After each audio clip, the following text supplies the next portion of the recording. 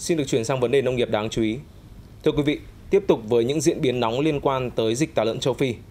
Theo báo cáo mới nhất từ Cục Thú y, Bộ Nông nghiệp và Phát triển Nông thôn, từ đầu năm 2023 đến cuối tháng 11, cả nước đã xảy ra 576 ổ dịch bệnh dịch tả lợn châu Phi tại 530 xã của 44 tỉnh thành phố. Số lợn mắc bệnh chết và tiêu hủy là trên 24.000 con.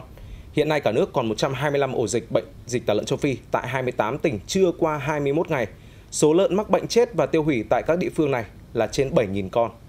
Thưa quý vị, và với diễn biến dịch bệnh tả lợn châu Phi đang rất phức tạp thì Cục Thú y Bộ Nông nghiệp và Phát triển Nông thôn chỉ đạo các địa phương cần khẩn trương triển khai quyết liệt các biện pháp nhằm ngăn chặn sự lây lan dập dịch, đảm bảo nguồn cung thịt vào dịp Tết Nguyên đán sắp đến.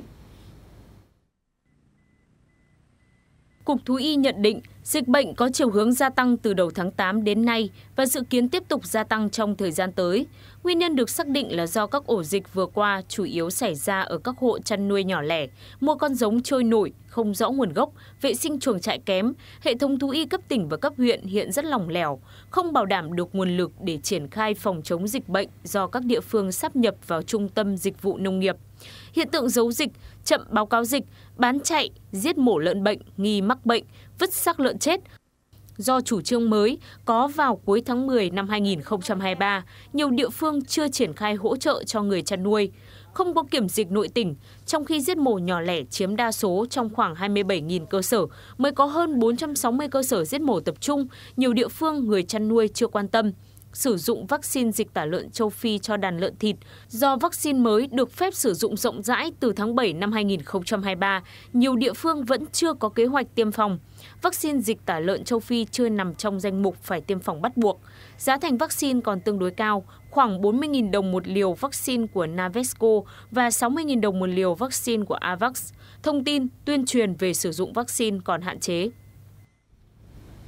Báo cáo của Cục Thú y cho biết trong năm 2023, dịch bệnh xảy ra nặng nhất tại các tỉnh Lạng Sơn, đặc biệt tại huyện Lộc Bình, tỉnh Cao Bằng có huyện Trùng Khánh, các tỉnh Đắk Lắk, Quảng Bình, Sơn La, Bình Phước, dịch bệnh vẫn chưa được kiểm soát triệt đề. Vâng thưa quý vị, tính đến nay trên địa bàn toàn tỉnh Sơn La đã có 52 lượt tổ bản của 29 xã phường thị trấn của 8 huyện Phú Yên, Bắc Yên, Yên Châu, Mai Sơn, Mường La, Vân Hồ, Yên Châu với 1.473 con lợn bị chết do dịch tả lợn châu Phi phải tiêu hủy với tổng trọng lượng lên trên 63,4 tấn. Và trước những diễn biến phức tạp của dịch bệnh hiện nay thì các ngành chức năng của tỉnh Sơn La đang tập trung các biện pháp khống chế dập dịch tả lợn châu Phi, không để dịch bệnh lây lan trên diện rộng. Sau khi phát hiện ổ dịch tả lợn châu Phi, ngành chuyên môn chính quyền địa phương tại các huyện ở Sơn La đã triển khai các biện pháp dập dịch để đảm bảo tốt hoạt động chăn nuôi. Sau khi nhà tôi thấy lợn có biểu hiện ốm đau, xong có trường hợp chết thì tôi đã báo chính quyền địa phương để báo bên xã, rồi tiến hành à, tiêu hủy, khử trùng, vệ sinh à, chuồng trại để à, tái, sau này tái nuôi đàn mới sau khi phát hiện ổ dịch tại bản rừng thông thì ủy ban dân xã cũng cử cán bộ thú y của xã phối hợp với phòng nông nghiệp và trung tâm dịch vụ nông nghiệp xuống lấy mẫu xét nghiệm. Đến ngày 27 thì cũng đã có kết quả. Thì tại bản rừng thông này hiện nay có 3 hộ. Cho nên là để thời gian tới thì chúng tôi cũng đã tuyên truyền cho bà con là khử trùng ờ, phun khử trùng và rác vôi. Để ngăn chặn dịch bệnh lây lan vào địa bàn tỉnh, nhất là dịch tả lợn châu Phi, tri cục chăn nuôi thú y và thủy sản tỉnh đã chỉ đạo trạm kiểm dịch động vật Vân Hồ tăng cường kiểm soát nguồn động vật vận chuyển vào địa bàn tỉnh Sơn La tăng cường công tác kiểm tra, kiểm soát tại các trạm kiểm dịch động vật 24 trên 24 giờ để ngăn chặn các trường hợp vận chuyển động vật không có giấy chứng nhận kiểm dịch của cơ quan thú y,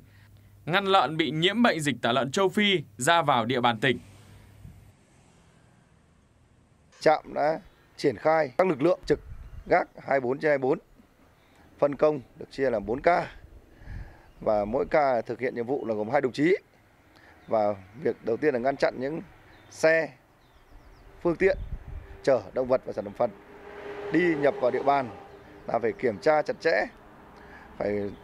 số lượng hàng là phải nhập vào là phải có đầy đủ giấy tờ, ví dụ như là có nguồn gốc xuất xứ,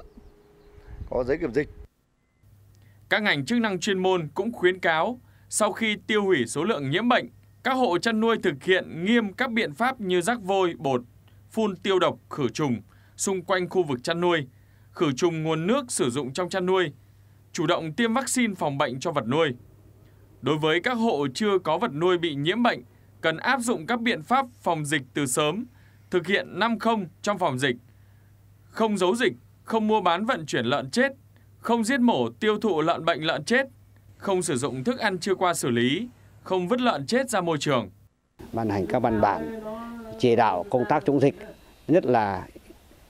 ưu tiên công tác là tuyên truyền cho người dân khi nhận biết được cái, cái tác hại của dịch bệnh và phát hiện dịch, dịch để phải báo cáo kịp thời các cơ quan chuyên môn để có biện pháp và xử lý ổ dịch, tránh ổ dịch lây lan diện rộng. Nguy cơ bùng phát dịch tả lợn châu Phi trên địa bàn tỉnh Sơn La đang ở mức cao. Do đó, việc chủ động phòng chống dịch tả lợn châu Phi đang được ngành nông nghiệp và các địa phương triển khai đồng bộ các biện pháp, phấn đấu không để dịch bệnh lây lan trên diện rộng, giảm thiểu thiệt hại về kinh tế cho các hộ chăn nuôi.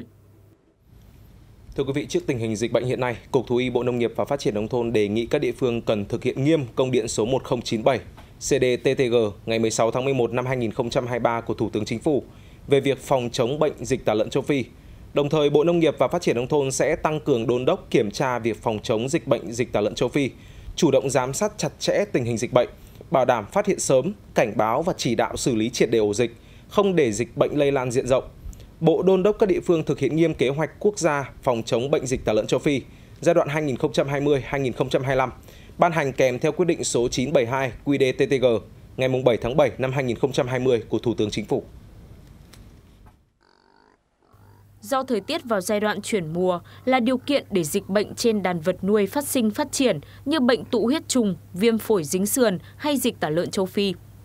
Không rõ nguyên nhân gì, đàn lợn của ông Vũ Văn Nam ở thôn Trần Thượng, thị trấn Trần Cao, huyện Phù Cử, tỉnh Hưng Yên bỗng dưng đổ bệnh chết, chuồng trại hiện vẫn đang bỏ trống. Thời điểm hiện tại, ông vẫn chưa dám tái đàn vì lo sợ lợn sẽ tái bệnh. Bỏ ăn hai ba ngày xong nó sốt cao lắm. Nó sốt liên viên không có lúc nào nghỉ. Tiêm vào là trong một ngày, hai ngày là nó chết. Mà nó không cầm máu nữa. Tuy nhiên, theo đánh giá của các cơ quan chức năng, dù lợn hay đàn vật nuôi mắc bệnh gì, khi phát hiện khu vực có dịch, chính quyền và người dân địa phương cần báo cáo lên cấp trên để có những biện pháp chỉ đạo kịp thời, tránh để xảy ra tình trạng bị động, bất ngờ. Riêng đối với dịch tả lợn châu Phi, mặc dù bệnh này đã có vaccine được Bộ Nông nghiệp và Phát triển Nông thôn phê duyệt và đưa vào tiêm thương mại gần nửa năm nay, nhưng điều nghịch lý, số lượng hộ sử dụng vẫn rất nhỏ giọt, trong khi dịch bệnh đang bùng phát mạnh trở lại tôi dường như là người dân chưa tin tưởng lắm chưa tin tưởng vào cái hiệu quả của vaccine lắm. Thì tôi nghĩ rằng cái này cần phải được tuyên truyền một cái hết sức nghiêm túc. Và bởi vì nó ờ, cái cái cái, cái việc dịch nó xảy ra trước đây nó đã từng xảy ra ở bình định xảy, xảy ra ở quảng nam xảy ra ở đà nẵng. Đấy, khi tiêm vaccine xong dịch có bùng phát lên. Thế thì đấy là cái tôi cho rằng cái đấy là cái mà làm cho người dân người ta cảm thấy chưa yên tâm. Chủ động triển khai thực hiện nghiêm cái tinh thần chỉ đạo của thủ tướng chính phủ tại cái công điện số 1097 ngày 16 tháng 11 năm 2023 cũng chủ động giám sát ờ, chặt chẽ cái tình hình dịch bệnh bảo đảm để phát hiện sớm các cái trường hợp lợn mắc bệnh để mà cảnh báo cũng như chỉ đạo xử lý kịp thời ờ, ổ dịch không để dịch lây lan ra diện rộng và một trong những cái giải pháp rất quan trọng đó là cái việc mà tổ chức tiêm phòng vaccine cho đàn lợn và thông tin tuyên truyền cũng như là hướng dẫn cái việc sử dụng vaccine dịch tả lợn châu Phi đồng thời là có các cái đánh giá cũng như là báo cáo cũng như là thông tin công khai về cái kết quả sử dụng vaccine dịch tả lợn châu Phi tại các địa phương để cho người dân yên tâm à, sử dụng cái vaccine dịch tả lợn châu Phi này trong thời gian tới. Tính tới thời điểm hiện nay, vaccine vẫn được xem là giải pháp hữu hiệu nhất để phòng chống dịch bệnh lây lan. Do vậy, trong thời gian tới, Cục Thú y sẽ tiến hành giả soát trình Bộ Nông nghiệp và Phát triển Nông thôn quyết định bổ sung bệnh dịch tả lợn châu Phi phải phòng bệnh bắt buộc bằng vaccine, đồng thời tham mưu chỉ đạo các địa phương có kế hoạch sử dụng vaccine cho đàn lợn thịt, thông tin tuyên truyền hướng dẫn sử dụng vaccine dịch tả lợn châu Phi, báo cáo đánh giá, công khai kết quả sử dụng vaccine dịch tả lợn châu Phi tại các địa phương để người dân yên tâm sử dụng. Cục cũng sẽ thành lập các đoàn công tác kiểm tra, giám sát, hỗ trợ địa phương phòng chống dịch bệnh động vật trên cạn từ ngày 15 tháng 11 năm 2023 đến ngày 20 tháng 12 năm 2023. Bên cạnh đó, sẽ tiến hành thêm các nghiên cứu đánh giá về việc sử dụng vaccine dịch tả lợn châu Phi cho đàn lợn nái được giống, trao đổi với các doanh nghiệp xem hướng giảm giá thành vaccine dịch tả lợn châu Phi.